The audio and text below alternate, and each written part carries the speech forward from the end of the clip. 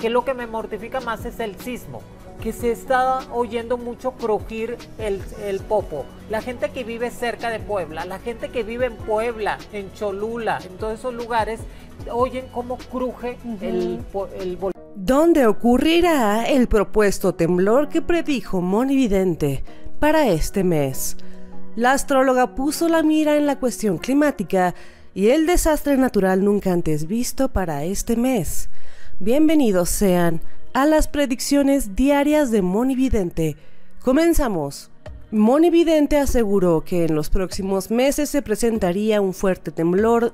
La pitonisa, en sus lecturas para el diario Heraldo del País, aseguró, si viene un sismo fuerte para México en este mes, un sismo tan fuerte que va a ser tipo como el del 2017. Este es el año del sismo, lamentablemente mencionó en sus telediarios.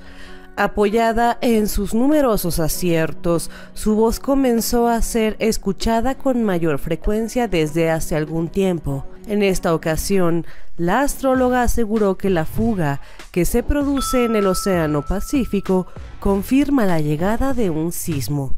Más allá de que especuló con que incluso podría ocurrir en septiembre o noviembre, remarcó que lo más posible es que suceda durante este mes. Y como parte de seguridad, Monevidente concluyó en el medio mexicano que el movimiento telúrico no va a provocar nada grave y recalcó que simplemente será un buen susto sin consecuencias de importancia. Asimismo, aclaró que el sismo más fuerte no será en América, sino en Asia, específicamente en Japón, y será de 9 grados.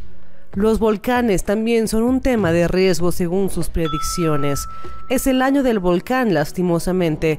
Vemos que el volcán Popocatépetl no ha dejado de hacer erupción y el volcán de Colombia sigue muy activo, al igual que varios volcanes en el mundo.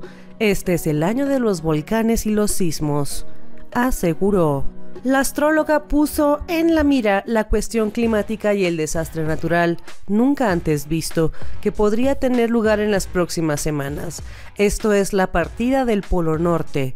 Esa región completamente congelada se va a empezar a separar, explicó. Con respecto a los ovnis, Monividente explicó que 2023 va a ser primordial en cuestiones de avistamiento también de cosas del universo, sonidos de otros planetas y cosas extrañas que comenzarán a suceder.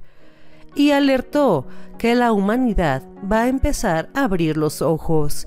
Hizo referencia a que existe vida fuera del planeta Tierra.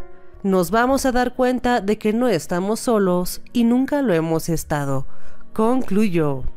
Es todo por hoy. Regresamos mañana con las predicciones diarias de Monividente. Hasta la próxima. Llegamos al final de este video. Te invitamos a seguir viendo las predicciones o noticias que aparecen en pantalla. Recuerda que siempre estamos al día con las predicciones de Monividente. No olvides dejar un comentario para saber qué te pareció nuestro contenido.